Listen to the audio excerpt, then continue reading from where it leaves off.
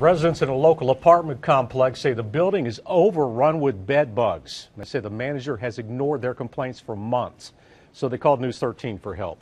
Tonight, Kimberly King is back from Brevard, where she saw the bed bugs up close. How bad is it, Kim? Larry, it appears pretty bad. We saw the bugs crawling in numerous spots inside the building. We also spoke with the apartment manager who told us something now will be done.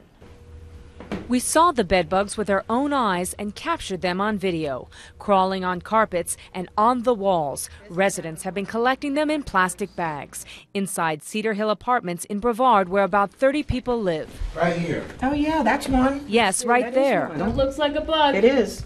Yeah. There it is. It's moving. And jumping. There's one right there. I think it's an infestation, is what I would call it. Julie Smith hasn't been bitten. But my son, that's 19, he's had a couple on him. Residents say the manager, Jackie Richards, has known about the problem for a year. We feel that she, that our property manager isn't dealing with this properly, uh, that she's trying to avoid it. Tenants finally called News 13 for help. I feel that if this action was not taken, it might have been pushed under the rug like a lot of other things here. We contacted the apartment manager who told us by phone, we know there are bed bugs in two apartments. We called our exterminator last Friday. They were here today. We have never had bed bugs before, but we are going to get in and take care of the problem.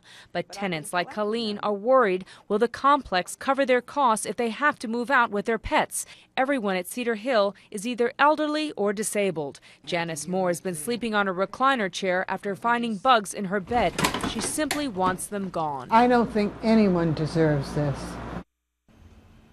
Now, you saw some of the live bugs in our video, but my photographer who shot them close up saw even more, saying that when he put the light on, the hallway carpets were teeming with bugs.